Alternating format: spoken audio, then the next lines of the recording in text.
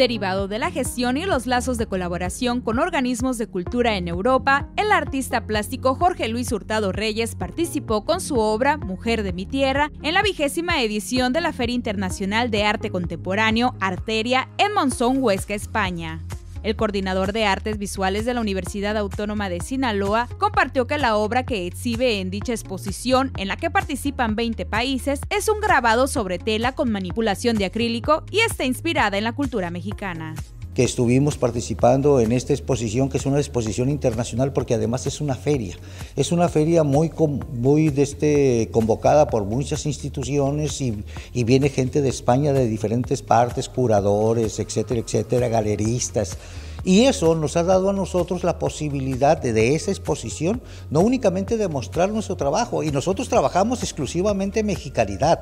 Hurtado Reyes señaló que en el último año ha presentado su creación artística en países como Corea, Francia, España y Portugal y expresó que este intercambio es un reflejo de la calidad en el trabajo universitario, la intensa gestión y los lazos de colaboración y de hermandad que existen entre la máxima casa de estudios y las instituciones de cultura de otras latitudes. La Galería de Arte Frida Kahlo está bien posesionada en Corea, en Taiwán, eh, en toda España, en, Francia, en Inglaterra, está muy bien posesionada por todos los resultados que han visto que hemos hecho. Y nuestros artistas sinaloenses también están posesionados como Universidad Autónoma de Sinaloa, que estamos saliendo a diferentes encuentros.